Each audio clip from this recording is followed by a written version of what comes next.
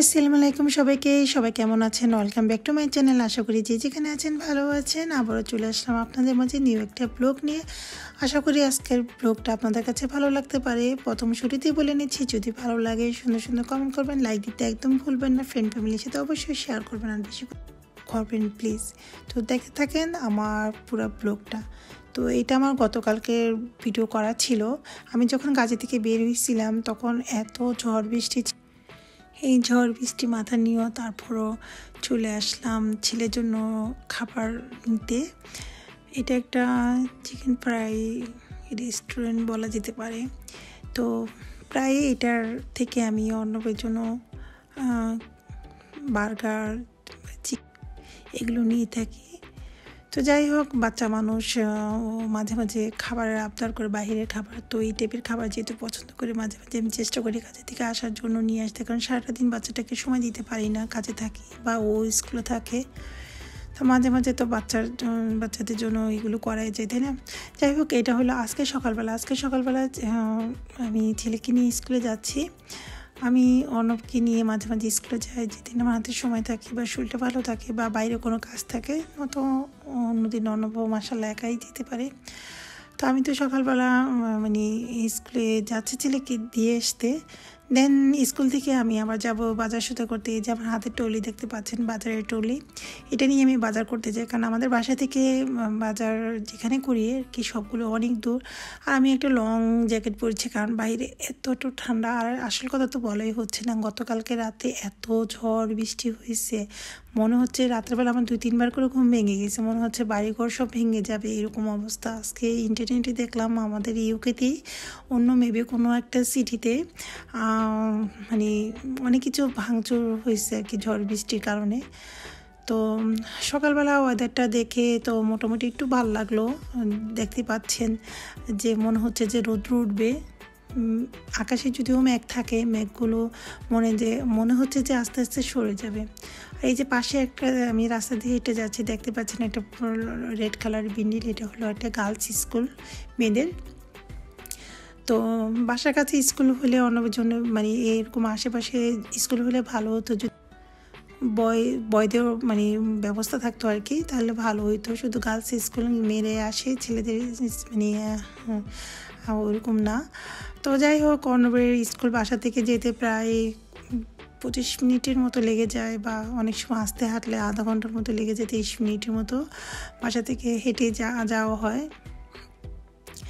তো আমি তো ছেলেকে নিয়ে যাচ্ছি স্কুলে। আর দেখেন রাস্তার পাশে বাড়িঘরগুলি মানে বেশিরভাগ আমি দেখেছি ইউকের বাড়িঘরগুলি এরকমই হয়ে থাকে তো বাড়িঘর মানে বাড়িঘর। আকাশে মেঘ মেঘ, তারপর অনেক সুন্দর একটা ঠান্ডা বাতাস। এই বাতাসের মধ্যে হেঁটে যাচ্ছি। আর আরেকটা জিনিস ভালো লাগে সকালবেলা না রাস্তার মধ্যে বের হলে দেখা যায় সারি সারি বেঁধে বাচ্চারা সবাই স্কুলে যায়। এভরিডে এই জিনিসটা দেখলে না ভালো লাগে। আর দেখেন আকাশটা কত সুন্দর দেখা যাচ্ছে, তাই না? আকাশটা দেখে আপনাদের সাথে একটু শেয়ার করতে মন চাইলো, সেই জন্য আমার ভিডিওর মধ্যে নিয়ে আসলাম।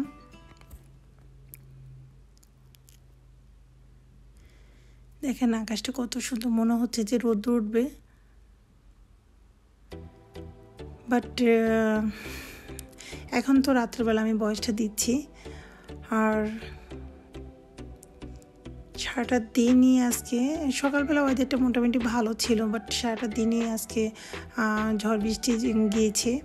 আর এই যে সকালবেলা দেখতে পাচ্ছেন যে দূর থেকে সূর্য দেখা যাচ্ছে, মনে হচ্ছে সূর্য উঠবে রোদ্র উঠবে সূর্য উঁকি মারছে। বাট সকালটা মানে একটু একটু রৌদ্র ভাব দেখা গেলেও সারাটা দিন ওয়েদার খুবই খারাপ ছিল। দুপুরের পর থেকে অনেক বৃষ্টি ছিল। বৃষ্টি তো ছিল দেন অনেক মানে বাতাস ছিল বাইরে। এরকম অবস্থা। তা আমার, আমি যখন কাজে থাকি, আমার ছেলের জন্য খুবই খুবই টেনশন লাগে, কারণ ও স্কুল থেকে মানে কখন আসবে বা স্কুল থেকে আসছে কি না খুবই টেনশন থাকে। আর আমি যেখানে জব করি, ওইখানে মোবাইল অ্যালাও নাই আর কি হাতে নেওয়া। তো আমি ব্যাগের মধ্যে মোবাইল রেখে দেয় অফলাইনে থাকি। অনেক সময় আমি অফ সবসময় অফলাইনে থাকা, এই কারণে হয়, অনেক সময় দেখা যায় যে নোটিফিকেশনগুলো আসে, শব্দ হয় ডিস্টার্ব হতে পারে। এই জন্য সব কিছু মানে চিন্তা করি আর কি, আমি মোবাইলটা অফ করে রাখি মানে ডাটা অফ করে রাখি। দেন যখন আমি কাজ থেকে বেরোই তখন আমি ডাটা অন করি। দেখেন বাচ্চারা দৌড়ে দৌড়ে স্কুলে যাচ্ছে সকালবেলা অন্য স্কুল তো পার হয়ে গেলাম। আর এই যে দেখেন আকাশ থেকে মানে পাখিগুলো উঠতেছে, ভালো লাগল দেখে। তো আমি তো মেন রাস্তা দিকে চলে যাচ্ছি। দেন তারপরে সুপার শপে চলে আসলাম আর পেয়ারাগুলো কচকচে পেয়ারাগুলো খেতে কিন্তু অনেক মজা। বাংলাদেশি যদিও পেয়ারা না, আমি জানি না বাংলাদেশি পেয়ারা না কোন দেশে বাট বাংলাদেশি যে দেশীয় পেয়ারাগুলো হয় না, ওই টাইপের পেয়ারাগুলোর মতোই লেগেছে। তো আমি প্রায় নিয়ে থাকি, আমার কাছে ভালো লাগে। বেশি নিলে পেকে যায়, তখন আর মজা লাগে না। সেই জন্য আমি অল্প করে পেয়ারা নিলাম এখানে। ফার্স্টে একটা আল আরাফা একটা সুপার শপে আসলাম। দেন এখান থেকে আরেকটা সুপার শপে যাব। এটা হলো পাকিস্তানের সুপার শপ এটা সুপার শপটা অনেক বড়। তো এখানে সব ধরনের সবজি, দেশীয় যে খাবারগুলি আমরা পছন্দ করি তো আছে। আমি দেখাচ্ছি যে এইটা হলো তেঁতুলের প্যাকেট, তারপরে যে পার্পেল কালার একটা বাঁধাকপি। এখানে বড়ই দুই রকমের, তারপর কাঁচা কলা, সিম দুই তিন রকমের আছে, তারপর সাজনা আছে। অনেক মানে শাকসবজি আছে এখানে। যেহেতু আমরা বাংলাদেশি বাংলাদেশি খাবার দেখলেই নিতে মন চায়। তো এখানে আমার সব পছন্দের সব কিছু আছে, কাঁঠাল বিছি তারপর বড়ি, পেয়ারা। তো আমি একটু একটু করে নিয়ে নিলাম, বেশি কিছু নাও হলো না।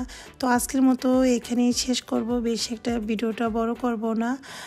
বাজার করতে আসলাম, তাই আপনাদের সাথে শেয়ার করলাম। সবাই ভালো থাকবেন, যে যেখানে থাকবেন, আল্লাহ হাফিজ। আসসালামু আলাইকুম।